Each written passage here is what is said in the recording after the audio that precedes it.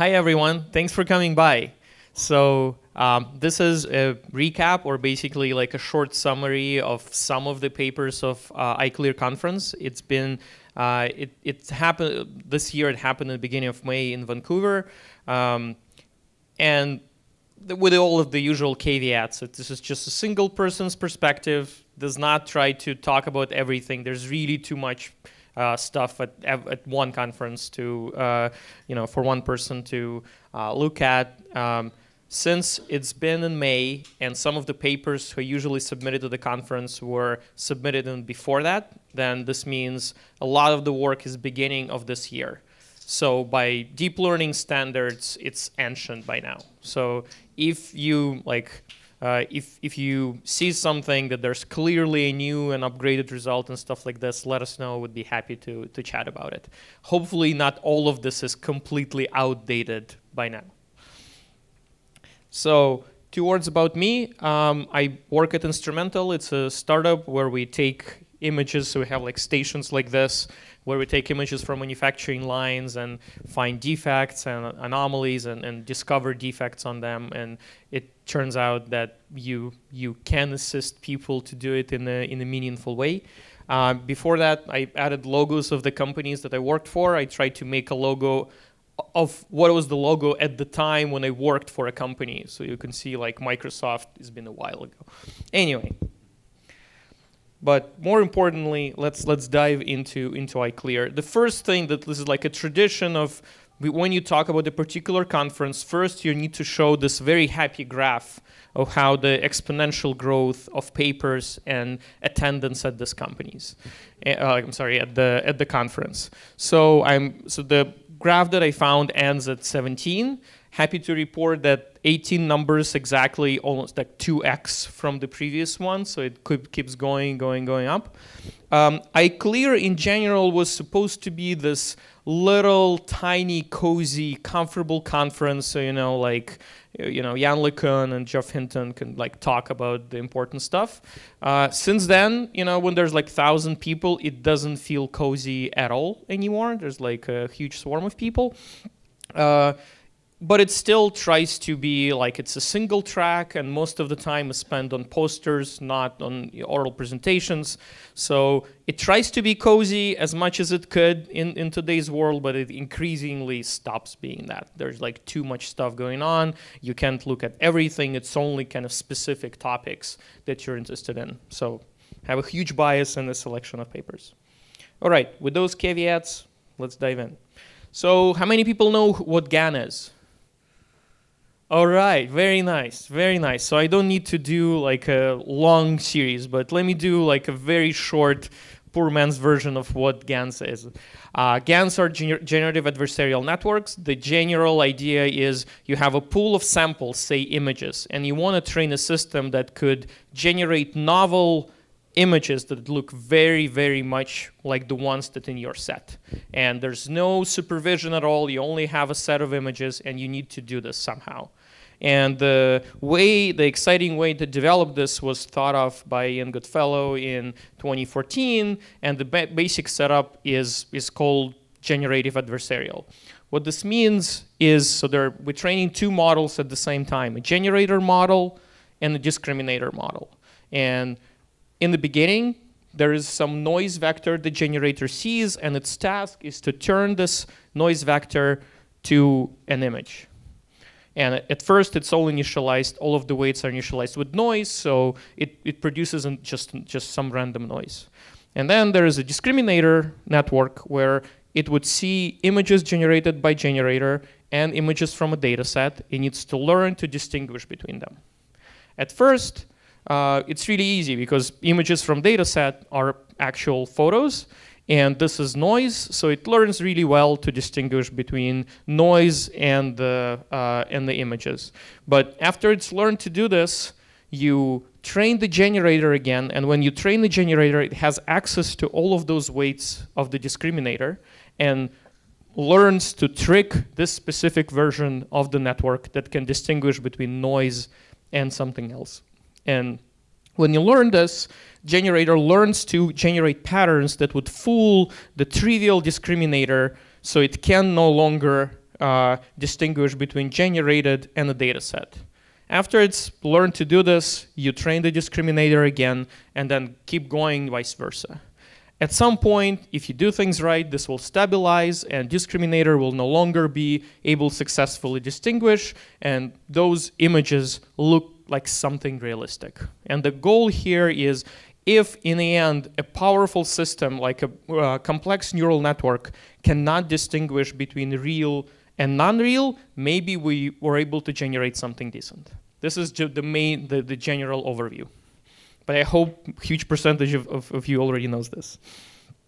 So the way it started is the original paper uh, from 14 were able to generate faces like this. So those are real and those are generated. So you can see how noisy, but there's something there. This is on CIFAR 10, where this is like a dog or a horse, and it was able to generate this, which is not particularly impressive. This is the first paper that introduced the approach. Um, in 15, it got to something like this, like to generate faces. Uh, better, but you know. Um, so we're going to talk about things that, uh, that happened on ICLR to advance this forward. One, one uh, notable paper is spectral normalization. This is one of the few that I think are implemented in, uh, I think the recent version of PyTorch includes this, so it actually made it to the to the practice. Um, the idea that this paper, the main idea of this paper is. Um, we know from the previous work that the main condition for the stability of training those systems is discriminator. Like a lot of the magic isn't isn't discriminator, isn't this part of system that tells good from fake. And uh, to get good results, discriminator has to be very smooth. It has to like very um, in, in a very smooth way react to changes in the image. And this, and if you if you have discriminator like this, then uh, it it provides enough signal for the generator to produce good images. And what was explored before is the Lipschitz condition, which is a special condition on how much the function output of the function can change with a tiny change of parameters. And like this, this Lipschitz condition, bounding it was proven or shown that uh, it increases the stability of the training. So the realization of this paper was that, that what they, they're proposing is for the linear layers, turns out that this, uh, the, the, the, critical number for this condition equals to the um, first um, uh, SVD decomposition value for the, for the largest singular value, and they basically directly divide all of the weights of the discriminator by the largest singular value, thus achieving a tight bound on the continuity. And the, the kind of the technical contribution of this paper is to how do you backpropagate through finding the, the largest singular value. And they show results, how this can improve. I'm not sure if how, how much you can see from the projector, but tigers are still not very impressive, and some of the fire trucks look better and better. Um, we'll have time for question, but if you feel there's something burning, then raise your hand, and I'll try to answer as is. Um, the more impressive result is we probably a lot of people see is also from ICLR, and, and this is the, the paper that was submitted. It's called uh, Progressive Growing of GANs. Um, those are uh, 1024 by 1024 images of people, and those are all generated by the network by itself. Um, those are novel, so it, this is generated from the celebrity data set. There are no celebrities that look like this. And you can see that uh, some of them, some of them close to perfect, some of them maybe not quite. So this like this is I think handpicked just a little bit, but in general it, they have a larger um, larger selections and and a lot of them look really good. So the main trick of how they were able to do this, and this is like the main contribution, is so-called progressive growing. And what this means is um, the way they train this large system like this, they start with generating just by four by four images. So they make a GAN system that generates 4 by 4 image and nothing else. After, it's, after the training is stabilized, they add two layers here, all of them convolutional layers, that generate 8 by 8 and train it um, to both generate 8 by 8 and still generate 4 by 4 if you remove them. So they always train to that the network should generate a better copy with, uh, with the next resolution and the previous one at the lowest resolution. And after this one stabilize, they add another one and then trade 8 by 8 and 16 by 16 at the same time. And after a lot of the steps, they get to 1024 by 1024, and this is how they were able to achieve the result. And basically, the scheme is, is to stabilize the training. So the network first needs to uh, learn how to generate the low resolution, high, uh, like high level details, and only then gradually refine them to a very, very tiny detail of the pixel level. They use other tricks than that, but this is the, the main contribution. Um, more fun results is the images from different categories. So you can see like a lot of them look really, really good. Like images like bottles and bridges and cars and well, cats are, you know, animals are hard. Uh, the fun example that everyone points out is one of the images with cats. Like a lot of the images from the internet are lolcats with captions, so it tries to generate captions. Uh, it's, they're not readable yet, but give it a couple of years. All right, so this is the, this is the GAN, GAN track. Um, another interesting um, development that, that was fun is uh, and like still generates a lot of the talk in the community and a lot of the work is the problem of adversarial examples. So adversarial examples is something that we found in 2014, and by we I mean the humanity, um, that there's this intriguing property of neural networks is that if you add very specific small noise, this changes their prediction in a huge amount. So those are images that are correctly classified uh, by like a modern network, uh, by uh, like a bus or a temple or something like this. But if you add this noise, which will transform them like this, they're all classified as ostrich. And we, we have algorithms to generate this kind of noise, and um, we for a while struggled to find the solution and it seems that for any kind of network you can generate a noise that will produce this like will significantly change the, the prediction. Those are called adversarial examples. Uh, in time, um, there were like people thought about this as a, as a security problem and there was some ideas of maybe you can demonstrate it if you can change the pixels but if it's in real world and you, and you take it through the camera it will not work uh, it was uh, demonstrated in, in, 2017 that it will still work. Maybe the distortion is big, but adversarial examples work even if you print an image and you take it through the, through the cell phone camera. Um, then we discovered that you can make a special patch that you can put anywhere in the photo, and as long as it's in the photo, it completely changes the, uh, what, what, what's predicted. So seems like it seems like it's not an easy problem. It's not like there's a there's a quick fix for this. So the work uh, on the on the ICLR that makes some progress on this is uh, well one of the example. There are a bunch of papers, but obviously I'm selecting one. Is uh, characterizing subspaces using local in, in, intrinsic dimensionality. And the the the thought behind this paper is um, their explanation of why adversarial examples happen. And the, they postulate a theory that, well, we all know that when you train a deep network, then um, the layers of the network learn how to untangle the uh, space in a way it's semantic, right? So in, in the beginning, it's just pixels. And as you go through the layers, it tries to unwrap the the space so it's so it, so the different classes or different useful things are better separated in it. So things that are close in the space are things that are semantically close to each other. So cats are together with cats, dogs are together with dogs, as opposed to in a pixel space. And the explanation is that while when you do this unwrapping, then this process inevitably leave, leaves pockets of empty space in those high dimensional spaces. And inside those pockets, you can find, uh, like always find some spaces that's not uh, covered by your source examples, where it's not clearly what, what the behavior is, so it's random. So you can always find a pocket that satisfies you know, the, um, the way to trick the network. So their insight of what you can do about this is to look at the dimensionality of those pockets. And what, what's meant by that is uh, one way to estimate the local dimensionality, the, the intuition, is to check how, how many samples you have when the radius is increased.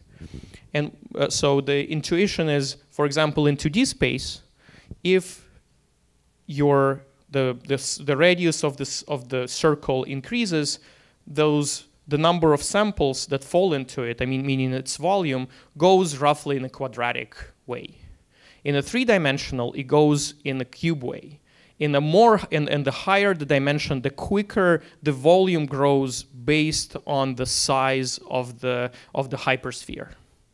And this means that for an, any particular point in a space, you can check how many neighbors from the real data set I have and how much the number of them grows when I'm increasing the distance. And when it grows really rapidly, this means I'm locally on a high dimensional, uh, in a high dimensional space. And if it grows slowly, then this means I'm in a, like locally, I'm in low dimensions. And their main insight is that for adversarial um, examples, this local dimensionality is much higher than for normal. And using this, uh, uh, using this property, you can distinguish between adversarial and not adversarial. And this is an example. So around the normal example, as you grow the number, uh, like as you as you grow the radius, the uh, other examples, like other samples of the data set, come in very gradually. And for the adversarial, there's nothing, nothing, but at some point, it like you you start getting a lot of them, which points to to that uh, this one locally lies on a high dimension space. Sorry about this.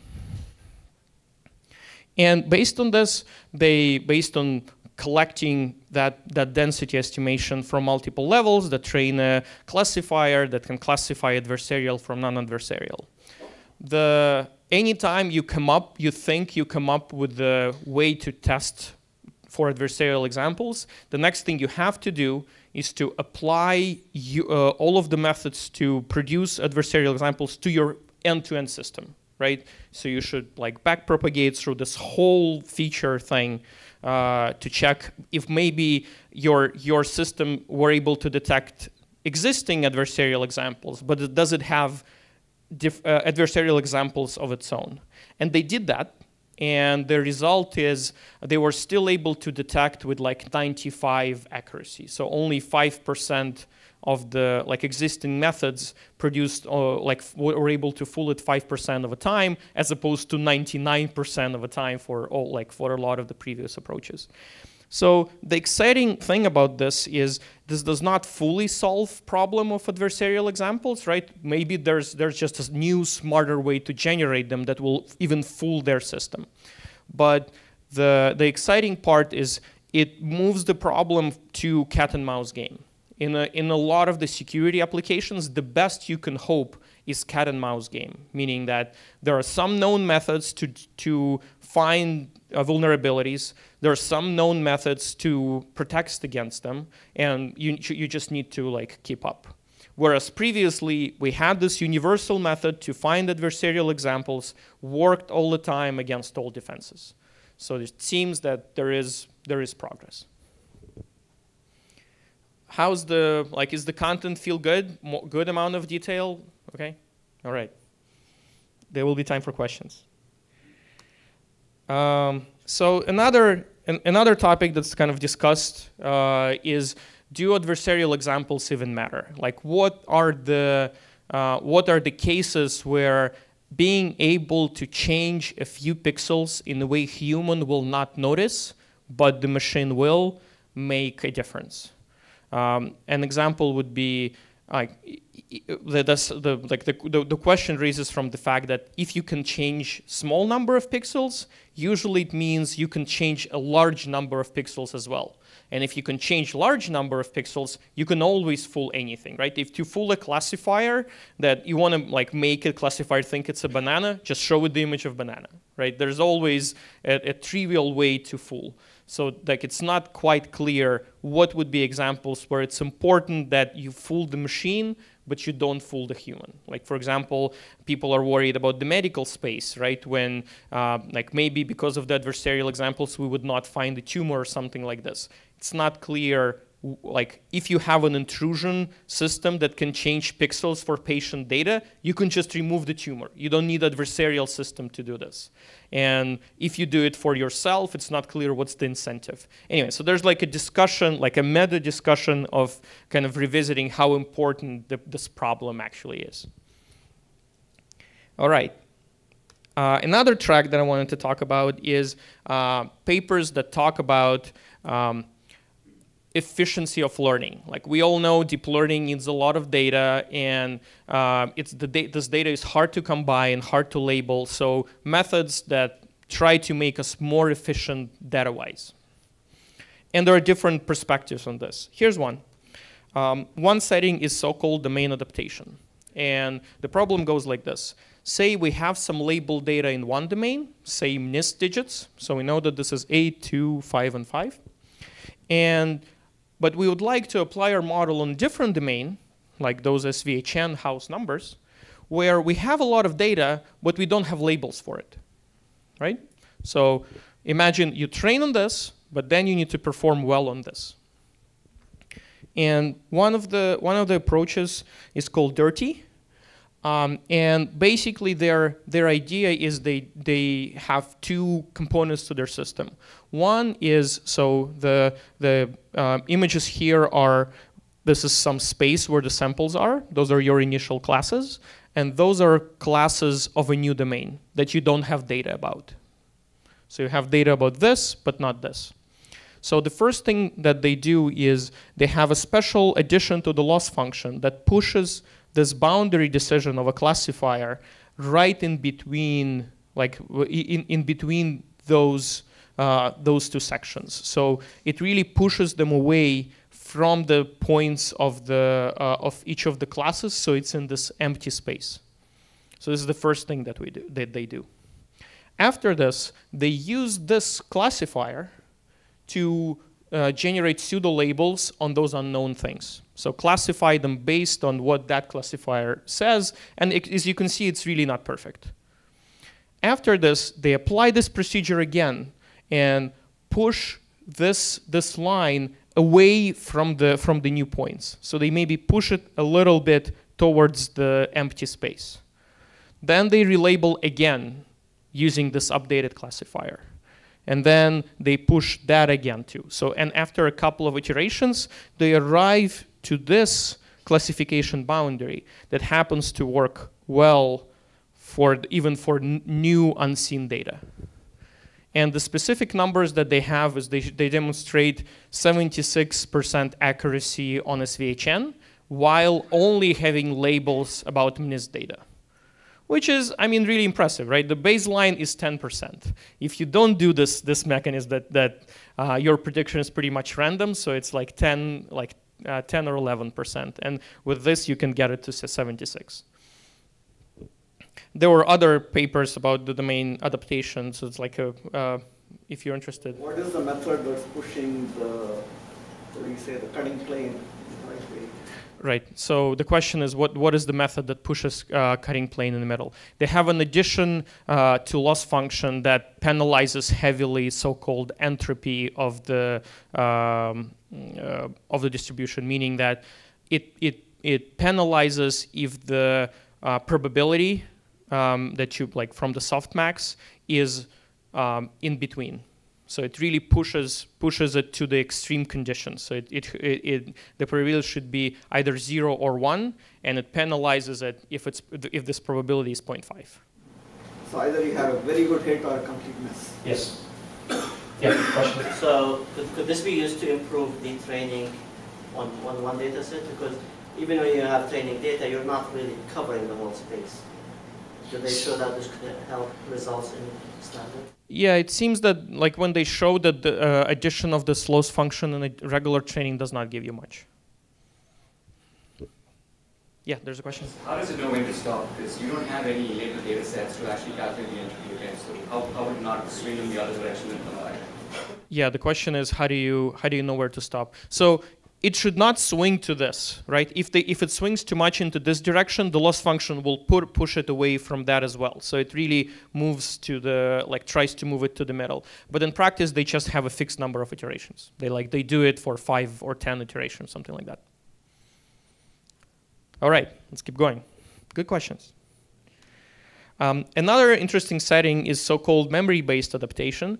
And the problem that they tackle, I think this is paper from DeepMind, is um, anytime that the, so we train the model and then we run it on some real data. And every time you do this, the real distribution of the real data will not be the same as training, right? Just inevitably, like it very quickly diverges. And the, the current solution to do this is to get more data that's more realistic and retrain the model. And this retraining is an expensive step, an expensive operation. So they're trying to make it uh, make the model adapt to the distribution that it sees. And the way they do that is uh, first they train model as usual. Like this is like the path of, of training the model as usual. But uh, for the data from the training set that they see, they store embeddings of, of this data with the class that they have. So they remember some amount of training set in terms of what were the embeddings and what was, the, what was its class. And during the testing, they uh, update this library of the recent examples with the stuff from test, with the stuff that they've seen data on, uh, with the ones that you were able to label. And when they produce output, they basically, instead of just uh, running the model. They run the model until they receive this embedding, and then they look at uh, for the incoming sample, how does it compare with the memory, and do basically majority voting based on what are the most similar uh, examples in memory. So an example would be if you have like a classifier with, with five classes, uh, first you train the classifier, but then you have uh, enough representative samples of all of those five classes. And when the new sample arrives, instead, like you would look at what is the sample most similar to from the uh, library of the classes of the examples that you have, and take the majority voting of the classes there. And what it, this gives you is uh, you can update this library based on test time, and this will change the decisions of this network without having to retrain it. Make some sense? Hope it does. Say it again? How do you know how to change, make the change? You have to train that. Uh, so when you change, you just update this library of examples that the network has. You don't retrain the whole network. But since your library changes, then it will affect decisions of the network because your new examples will be checked for similarity for the new library, not for the one that you had before.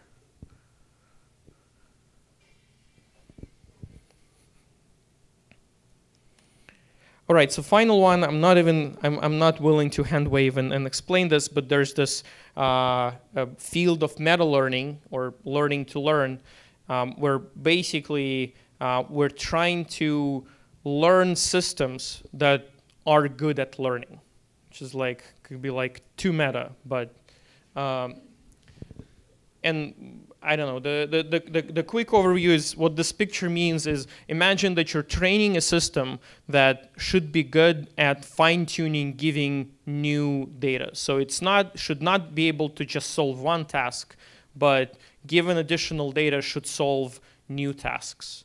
And turns out then you can rephrase it as, so those are the parameters of the network, to bring it to some point that given new data could easily go uh, to uh, parameters that are optimal for a particular task. So you can formulate it as a meta optimization problem that um, will train a system that then are better trainable for specific tasks. There's a How do they train the system that trains the system? Uh, with gradient descent. it's always the answer. Okay. Um, so another section is kind of new standard blocks uh, for deep learning that could be used in many different tasks and improve the uh, uh, the performance on many different things. One is uh, that I think it's got the best paper award um, is update to um, like very popular Adam optimizer. So Adam is the gradient descent optimization methods that is often a default of what you try when you train a deep network. And uh, quick recap of how it works: it's uh, designed to solve so-called uh, saddle point problem, where the regular gradient descent basically swings back and forth for a long time before it finds the right direction to roll out of the saddle. And the way Adam fixes it, it penalizes the, it has adaptive learning speed for every component, like every, every dimension, and really penalizes the learning speed for the gradients with the high, um, with the high value. So if you're going to some point with a very high speed, it would say, no, go slowly.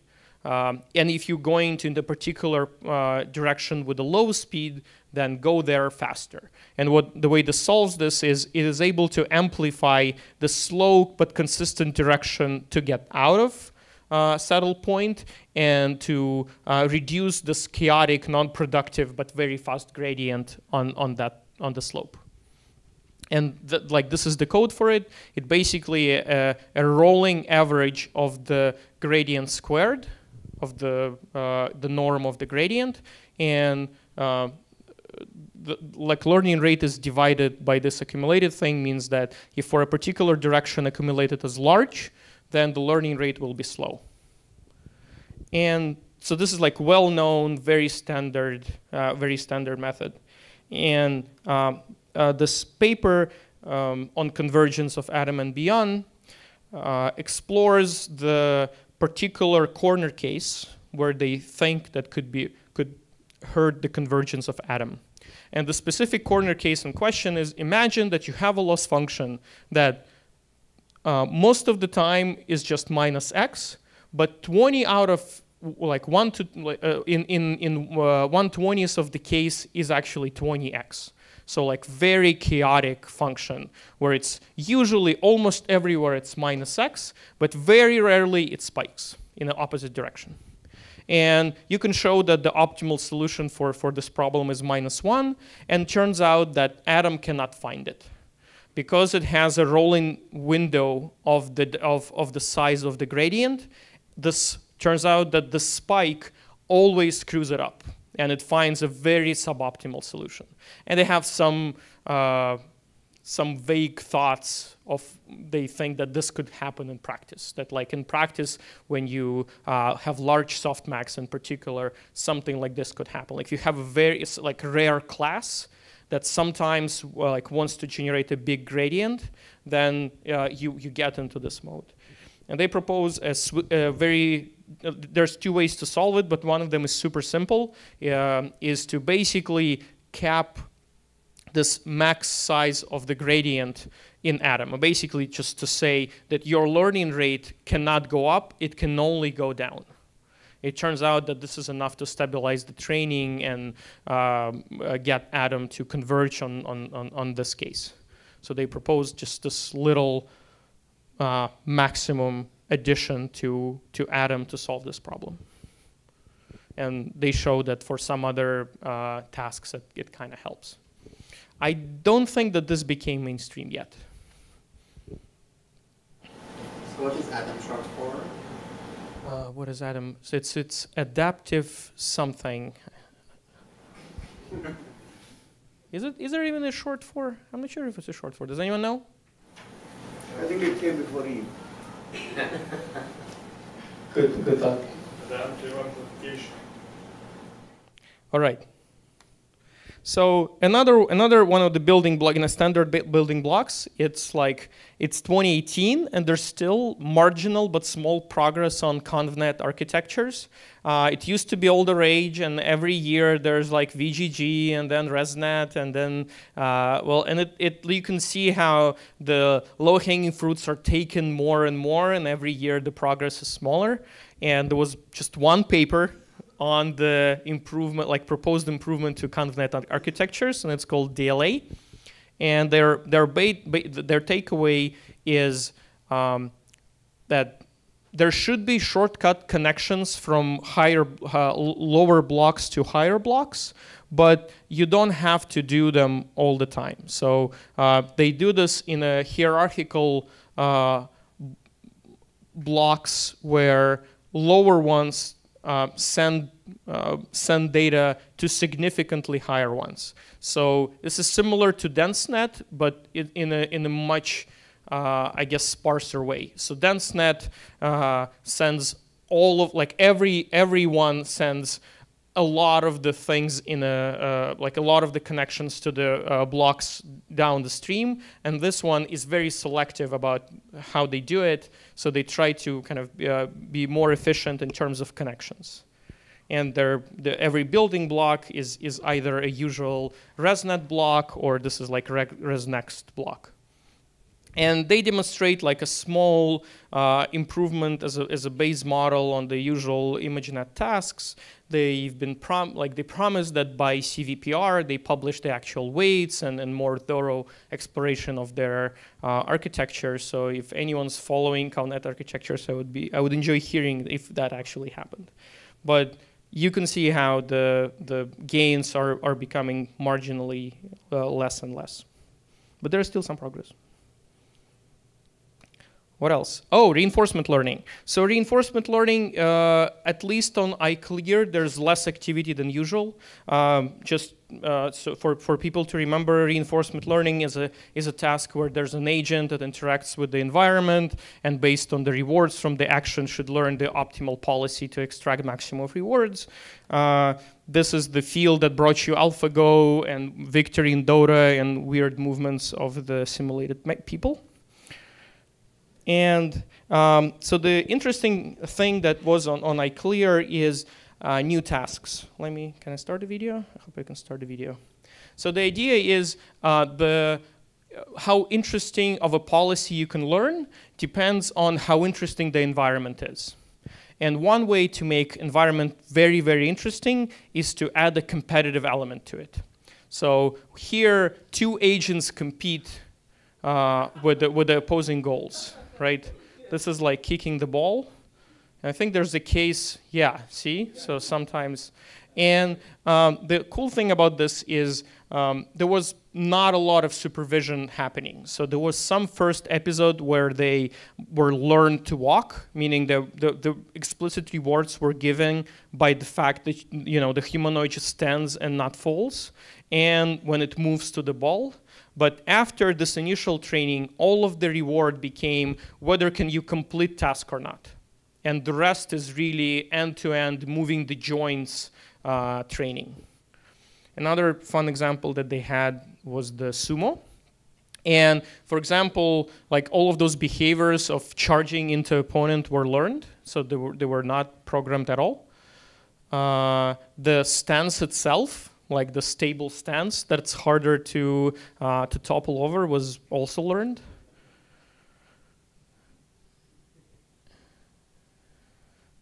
All right. Um, there were some interesting meta behavior. Yeah, so sometimes they fool the opponent. So if the op opponent charges, you step away and, and the opponent falls. Um, and again, so like the the cool thing about this is not like there, there's no engineering around it. It's really just the richness of a competitive behavior that gives rise to uh, like very different ways to behave and and and to uh, move around in the space. Okay, can I? Right. Uh, another reinforcement learning domain that was not much, I haven't seen much explored before is the communication. Uh, I guess there was like papers from from DeepMind and you know the crazy system that they had to stop or whatnot. Um, but here, um, what, what's being explored is uh, there are two agents communicating, and one agent, for example, sees a particular image um, with the object of a color of a particular shape and needs to communicate it to the listener. And listener, out of many uh, images, or some of them are distractors, need to identify the right one and they communicate through the discrete protocol. So speaker, for example, for images, both speaker and listener are convnets, and speaker needs to transform image to a sequence of, of steps, like a, uh, like a, a, sequence of, of data of the fixed size, and listener needs to predict based on that what's, uh, what's the right image and trained end-to-end by reinforcement learning. And basically what they're uh, interested in is does the language emerge from this? Uh, and the way they define it is does the, uh, those messages, do they have compositional structure? Meaning that there's like sub messages that talk about different things? Or is it like for any combination, there's just a unique word?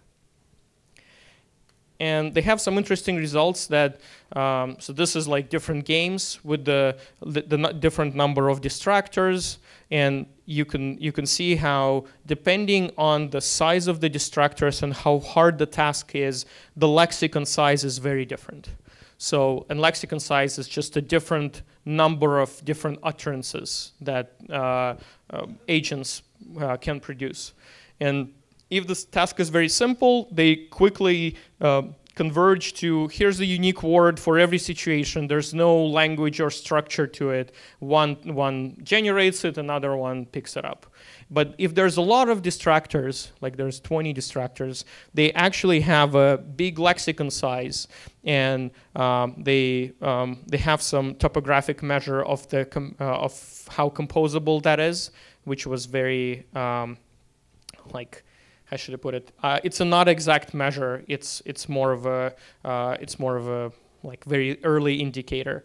Uh, but the interesting thing is, um, in all of those cases, agents learned to solve the task, right? So they they can predict with like 90 something percent probability, but only if the task is difficult enough, properties like language uh, seem to occur in the communication, which is interesting.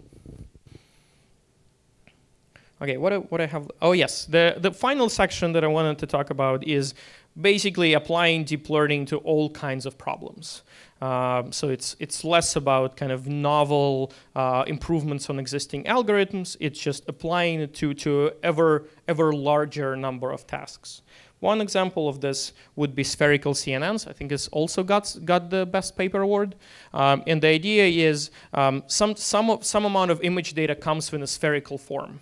In particular, I think some of the medical imaging, or for example, the astronomical images, they always come, always come in spheres, and geographical data, when it's a globe, right, it's a sphere. And it turns out uh, that, well, not turns out, it's widely known that you cannot map a sphere to a plane uh, in, a, in, a, in a way that does not cause a stretch, right? You cannot unwrap a spherical surface on the plane to, for example, if you have spherical data, to use, to use a regular CNN on. And this contribution is uh, generalizing a notion of CNN and convolution layers on a sphere that has all of those nice properties of being uh, equivariant across the sphere. So for example, if you do any kind of rotation and run it through convolutional, through, through their convolutional layers, it's exactly as, like, exactly the same rotation uh, of the features and they they employ some some uh, impressive and, and uh, elegant math to uh, to make all of this work. And yeah, the fun thing about them is one one uh, they said one of the problems with the approach is there's no MNIST to test on.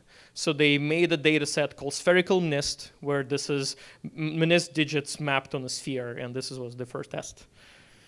Nice touch. Um, another one is um, uh, a blueprint of how do you do end-to-end differentiable web search. One way to think about the, all of this uh, deep learning stuff is you have a lot of standard blocks that can solve different tasks, and this is kind of a new way to do programming, a new way to do engineering, right? Like there, uh, usual engineering is uh, like programming is is basically expressing a real world problem in terms computers can understand, right? This is this is what programming is. And this is new way of programming is expressing a problem as a way, uh, as a number of differentiable label uh, layers that you feed the data and train on them, and this is how you solve the problem. And um, this is this is a system that tries to do this end to end with web search.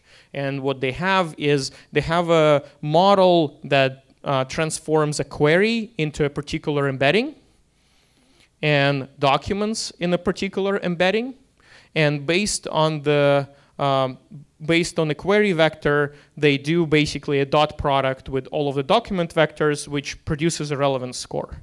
In addition to this, based on a query, they predict what would be a next query that the user types. Because usually when you use the web search, it's not like one session. You try one thing, then you try another thing and another thing.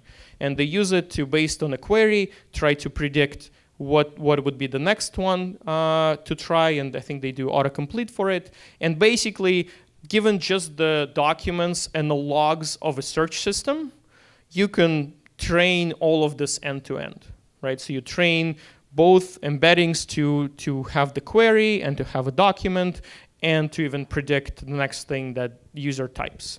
And this is kind of a sketch of how in, in this new world you would make Google. And I'm sure Google has a prototype of this already. Okay, so the, uh, another domain that I wanted to mention is a product recommendations. This is a paper from Amazon. And usually for product recommendations, not a lot of people are using deep learning. And um, for, for their case, it's really, they want to do straight up product recommendation, meaning you have millions and tens of millions product at Amazon, and I think they do for books at Audible as well.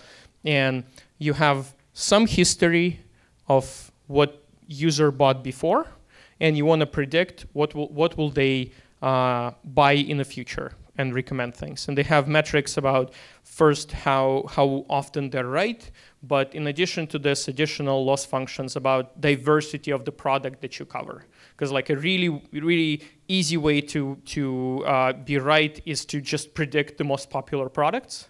Uh, but so they have additional metric about th- what's the coverage of all of the products that being recommended.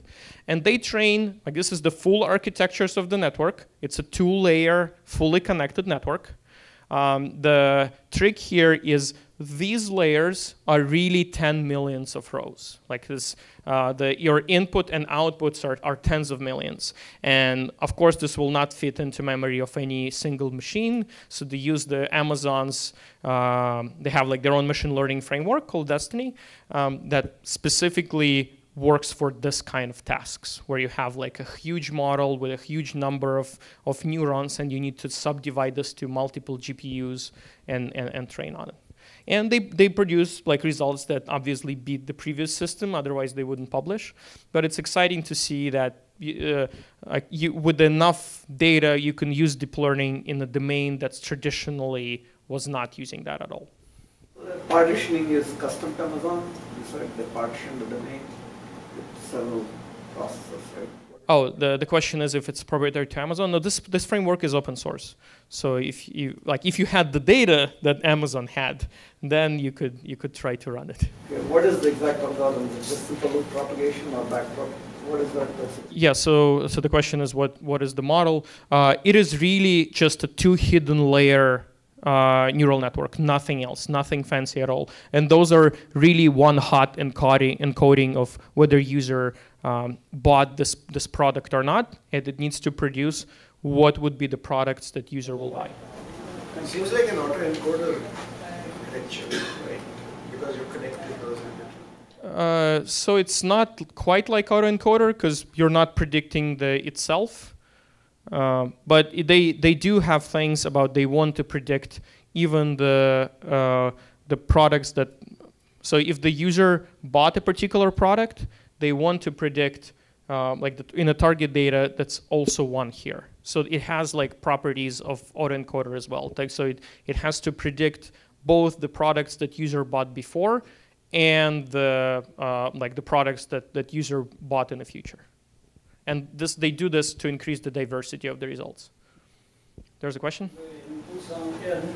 Inputs on and outputs uh, correspond to, to just product items. So if they introduce a new product, uh, they have to retrain everything. Uh, so the question is, do do the uh, outputs really uh, correspond to products? So if they add a new product, do they need to retrain? Yes, that's exactly the case, and they I think they retrain nightly.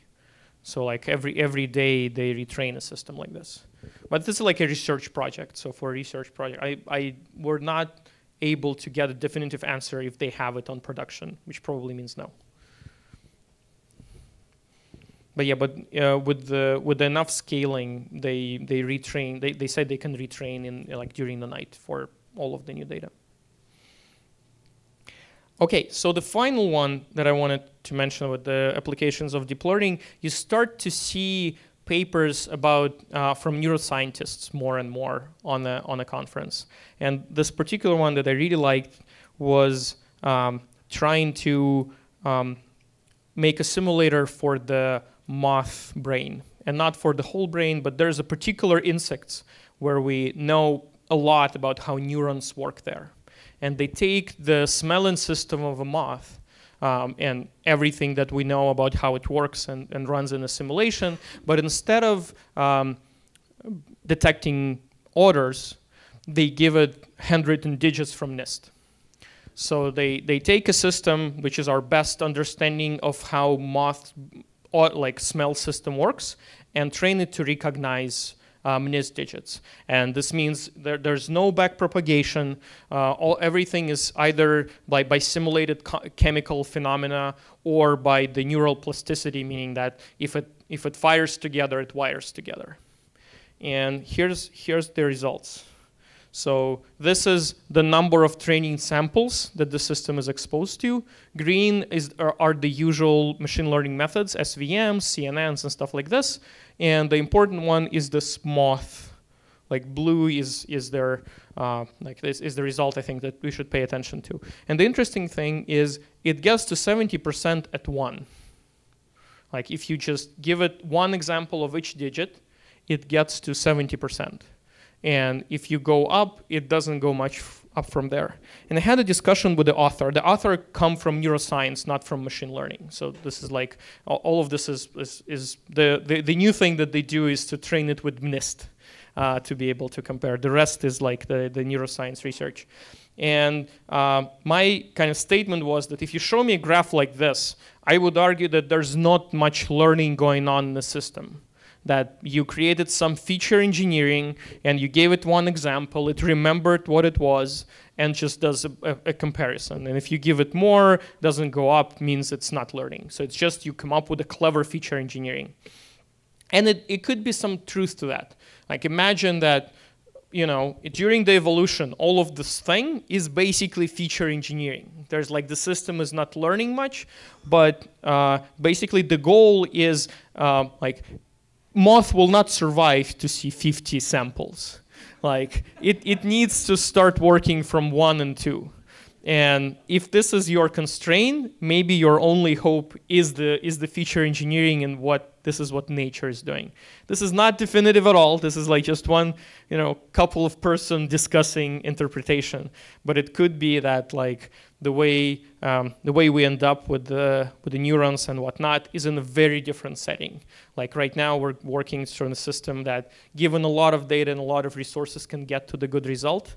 But the way kind of nature had to get there is just starting with extremely small number of examples, which is still a property of humans, right? When you, humans can learn from a very very small number of examples.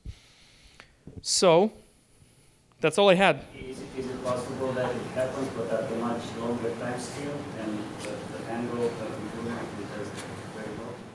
So the question is, uh, could it be that it happens on a much longer time scale? So here, the difference between red and blue is exactly the time scale. So red is if you show this example once. So like there's there like the, this all of the plasticity in learning uh, has small time to like long time to kick in. This the blue one is if you have just one example, but you show multiple times, a lot of times repeatedly. And I kind of suspect that if it was going up much high, like much further up, they would show it. But for, for, for mods, that happens over many generations. We have many thousands and thousands of years transferring the, the learned, capabilities.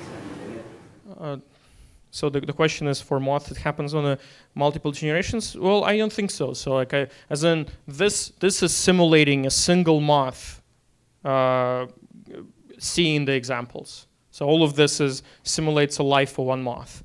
And so one uh, confirmation that that kind of that we ha- have for this is it's known that moths are able to remember three or four others max like they, they cannot remember 20 All right. Thank you.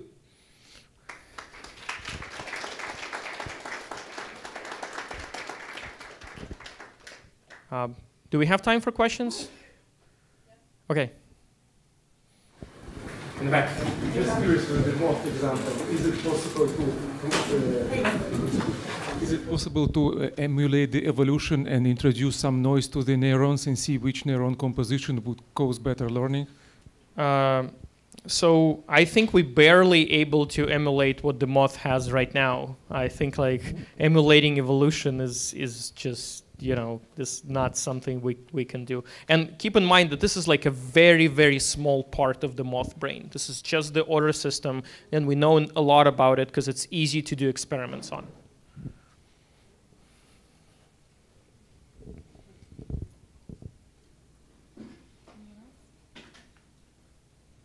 Or yeah, oh, the question here. I find your um, report on the language learning so interesting, so that in a game setting, the agents start to learn some language or phrases. So just reminds me with uh, part of the research in the cooperation community, so evolutionary cooperation, competition mechanisms. And they also talk about exactly similar games, so like Prisoner's Dilemma and other kind of games for learning languages. And they also show that communities that learn languages survive much better than communities that don't learn language because they have better terms of transmitting information. It's really great that also not only the evolution community and biology community is studying, it's also sharing. Same to neuroscience. Yeah, I think like multi-agent games are, are like a, a very uh, interesting uh, kind of uh, way to to learn what could what happens when like the value of coordination and, and things like that. Uh, there's the you know OpenAI famously works on on Dota, and they're gonna have like a match against professionals soon, which is very exciting. And one of the one of the things they talk about is the main. It seems that where the computer teams beat human teams in in their approach is coordination, meaning that like if you have five people playing Dota everyone is still like obviously you work for the good of the team but it's really hard to resist to land last hit on a mob or like buy some item and stuff like this. And it seems that computer teams are much better at like not being selfish and even in the small like a tiniest details you know like not having this temptation to you know to improve your hero as opposed to everyone else. So for the spherical example that you showed, which is for the spherical example, the domain that you showed, uh, what was the constraint on the data? I didn't understand for raycasting. They said this works only on certain kinds of data. Is it symmetry around the center, or what did the image have? Yeah, so the, the constraint is only that's really the data is on a sphere. So data is not like a um, two by two, like the two dimensional image, but it's collection of spherical points. And it see. doesn't have to be symmetric, doesn't have to be anything else. It's just, you know, when, when your data is a sphere, imagine this is like a map of the globe, right? And you want to run like detection on it. They can do it in a way that's symmetric to the rotations and stuff like that. Oh, okay. Thank you.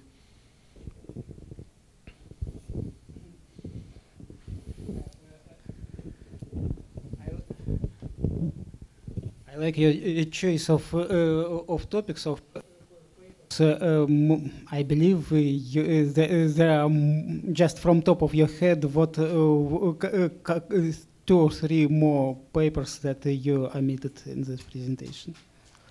Sure. Um, so um, what what was what was particularly fun. There was a fun paper about, uh, and it's just a clever twist on the data uh, about um, summarizing um, Wikipedia. And the, the idea that they had is so there's like a model that does text summarization. And the way they train it is as an input, they feed all of the references of a particular Wikipedia page. And output is the first paragraph of Wikipedia. And this is just a clever way to have the data that you have to formalize for a summarization task. And like, and the best model that they find is a transformer uh, with like attention and, and stuff like this. That was actually generating a lot of times good-looking summaries. Uh, so that would be one. Another was there was there a, something particularly crazy that that I omitted? Uh, people do more and more do clustering with deep learning, which is another uh, interesting topic for me. Like in a completely unsupervised manner, you, it turns out you can come up with a reasonable loss function that is able to cluster. And unlike a lot of the other clustering algorithms resistant to the number of clusters. So like you, you say um, i want to cluster with 20 and it actually uses just three because the rest is not useful. I know there's there's many more. Hard to choose. Hmm? Oh yes, the capsule nets. Uh, there was a single paper on capsule nets, which was about EM routing for capsule nets, um, and which, which is like a better way to do routing than the, the, the thing that they had before. And yeah, I mean, th there there is a single paper, but you don't see a huge amount of activity around it yet. So um, typically in uh, the neural neural nets, it's not possible to you know justify why it is giving certain results, and uh, I think that there were like some mention that some work is happening in that direction. Was there anything? Yeah, so in interpreta- like interpretability, I don't remember anything in particular. Uh, yeah, there there could be some some ways to um, like come up with the architecture that's the output is is is more interpretable but I, I yeah I don't remember any particular uh, interesting developments on that. Going back to the question of clustering, like uh, like what what were your thoughts or what were your uh, learnings about clustering in very high dimensions? So the the papers that did clustering and, and things related to clustering, they did start with images. So images like is extremely like the pix like pixels are extremely um, high dimensional data, and it seems that they were there's some limited success in, in applying that.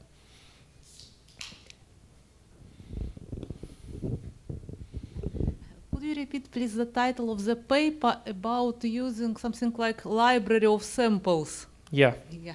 So I'll try to publish slides somewhere, and and like all of those papers have links. But let me let me find. Yeah, memory-based adaptation. Is there is there a place where I can post the slides? I'll I'll comment on the on the meetup.